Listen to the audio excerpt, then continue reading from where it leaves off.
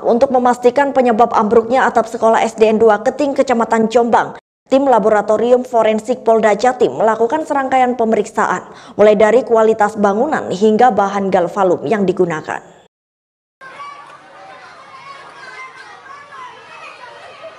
Kepolisian Resor Jember terus melakukan pemeriksaan kasus ambruknya atap gedung Sekolah Dasar Negeri 2 Keting, Kecamatan Jombang, Jember.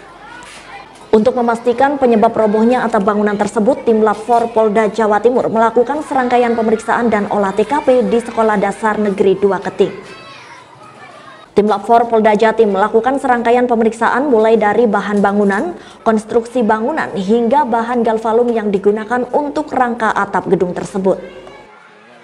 Selain memeriksa di ruangan yang atapnya telah roboh, tim 4 Polda Jatim juga memeriksa bangunan ruang kelas yang lain karena ditemukan beberapa retakan di tembok kelas lainnya.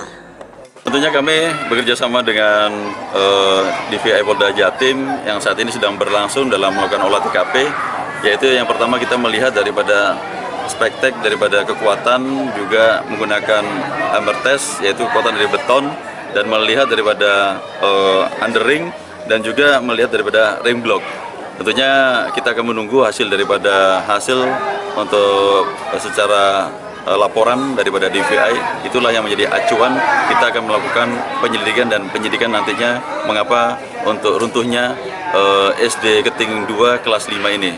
Karena pelaksanaan untuk pembangunan atau rehab rehab yang dilakukan ada di kelas 5 dan kelas 6 maka dari itu kami menghimbau kepada kepala sekolah untuk yang kelas 6 dan kelas 5 untuk tidak melaksanakan giat belajar mengajar di kelas, namun kita arahkan di tempat yaitu adalah musola.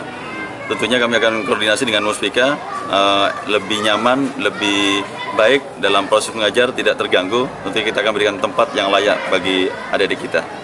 Dari Jombang, Bambang Sugiarto, Jember 1 TV melaporkan.